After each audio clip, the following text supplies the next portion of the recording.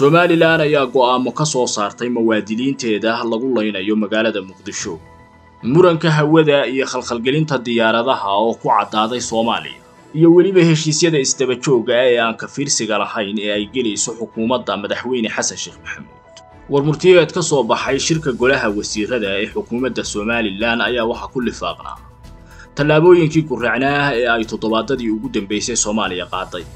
Waxaana aynu ku soo koobaynaa warbixinteenna somalilan ayaa sheegtay soomaaliya inay qaaday tallaabooyin gaboodfallo iyo cadaawadi ay ka muuqato kuwaasi oo tan iyo markii ay heshiiska somalilan iyo etoobiya wada galeen iska soo daba dhacayay wasiirka warfaafinta cali maxamed xasan cali mareexaan oo akhriyayay war murtiyeed ka soo baxay shirka golaha wasiirada ayaa waxa uu sheegay la wareegista hawada ee somalilan inay keentay tallaabooyin guracan oo ay soomaaliya qaaday waxaana kow ka ahaa diyaarad gurmad deg dega u fidinaysay qof xanuunsanaya taasi oo ay dowladda soomaaliya hawada ka celisay. Tani oo muujinaysa tacaddiga shacabka reer somalilan iyo ku takrifal awoodeed. Waana sababta kaliftay in xukuumadda somalilan ay si awood ah kula wareegto hawadeeda waxaana ay ugu baaqday maamulka soomaaliya inuu ka daayo khalkhalgelinta diyaaradaha hawada sida nabadgelyada ah ugu safraaya kuwaasi oo dhowaan uun ku caddaaday markii ay isku dhici gaadheen diyaaradda qatar airways iyo ethoobian airways. Lamber laba xukuumadda somalilan ayaa ugu baaqday soomaaliya inay joojiso colaadaha ay somalilan gudaheeda ka hurinayso. Iyo dadka muwaadiniinta ah ee somalilan ka soo jeeda ee lagu laynaayo magaalada muqdisho kuwaasi oo shaar dowladeed loo adeegsanayo iyada oo ay fulinayaan qorshayaashana hay'adaha ammaanka ah ee waddanka soomaaliya dadka somalilan hore ayay u soo martay in magac dowladeed lagu waxyeelayo waxaana loo geystay xasuuqyo waaweyn. Haddaba xukuumadda somalilan waxay uga digaysaa dowladda soomaaliya tallaabooyinka guracan ee ay qaadayso.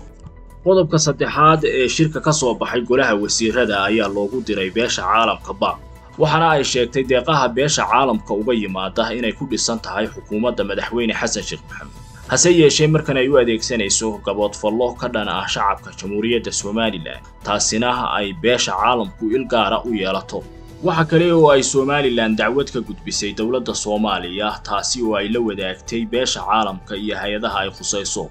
Waxaana ay salka ku haysaa gaboodfallada ay ku kacday xukuumadda madaxweyne xasan sheekh maxamuud oo ay kow ka tahay shacabka jamhuuriyadda somalilan ee la bartilmaameedsanayo iyo sida oo kale diyaaradaha gargaarka degdega ah ee laga celiyey magaalada hargeysa ee caasimadda somalilan intii aanay la wareegin hawada maamulkeeda. Waxa kale oo ay golaha wasiirada ee jamhuuriyadda somalilan soo saareen maadaama oo ay berrigeeda iyo baddeedaba maamusho somalilan ma khusayaan heshiisyada ay gelayso soomaaliya. Maadaama oo ay ahayd kun sagaal boqol iyo lixdankiina dowlad madax bannaan oo xuduudo la yaqaano leh kuna biirtay soomaaliya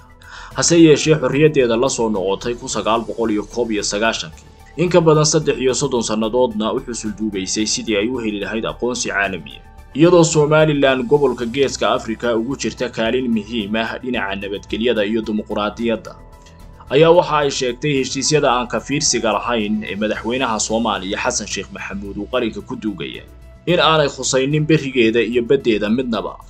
xurgufta siyaasadeed ee sii fogaanaysa ee u dhexaysa somalilan iyo soomaaliya ayaa waxa ay mar kale soo laba kaclaysay markii ay wada galeen heshiiska ra'iisul wasaare abiy axmed iyo madaxweyne muuse biixi cabdi bishii koowaad kowdeedii labaatan labaatan iyo afar. Taasi oo mar kale khilaaf ka dhexeeya labada dhinac uu cirka isku shareeray. Inkasta oo aanay u suuro gelin dowladda soomaaliya ayaa isku dayday inay heshiiskan isku hortaagto awood waxaana ay celisay diyaarado ku soo aadanaa magaalada hargeysa taasi oo sababtay in somalilanna ay la wareegto maamulka hawadeeda